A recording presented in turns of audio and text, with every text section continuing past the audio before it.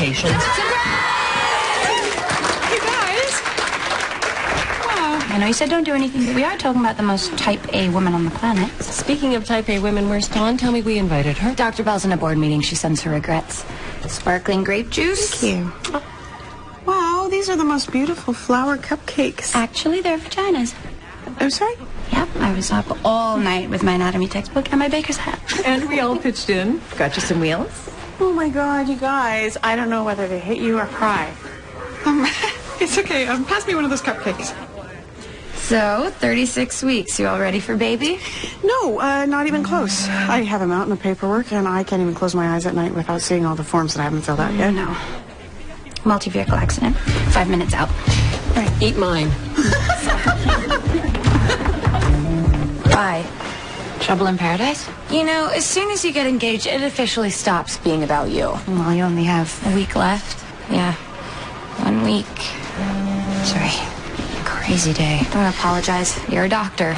And for the next 12 hours, so am I. Baruch Hashem. Thank you. I didn't do anything. You never planned to, and yet always somehow do. Hmm. Hi, Esther. Hello. Oh, you're uh, you're a woman. Um, look, I can't be alone with you. Uh, I can't be alone with you. Okay, Mr. Hoffman. Herschel Hoffman. You're, you're Herschel. You're Dr. Katz's fiance. You know Sydney? Yes, we were just talking about you. I'm Dr. Maggie Lynn. You're Maggie.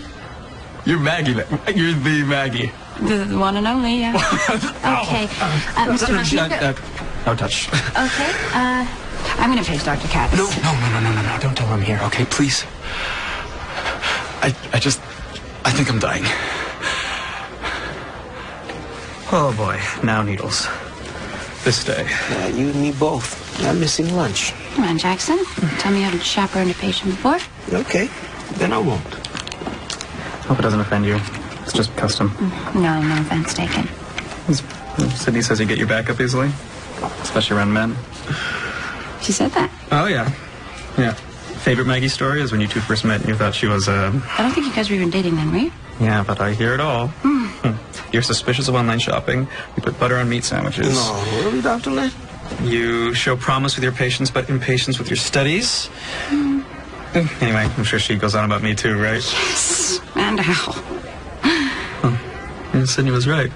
Your nose does kind of twitch when you're fibbing. Well, this dude could write a book about you, Dr. Lynn. Mm-hmm. Okay, just a little pinch. I need to talk to you. Sounds serious. Herschel's here. I just admitted him, but he doesn't want you to know. Why not? Because he doesn't want you to worry. Well, should I be worried? We don't know yet. He came in with severe abdominal pain, and he's in a CT scan as we speak. Oh my God. I just thought you should know. No, of course. I have to go see him.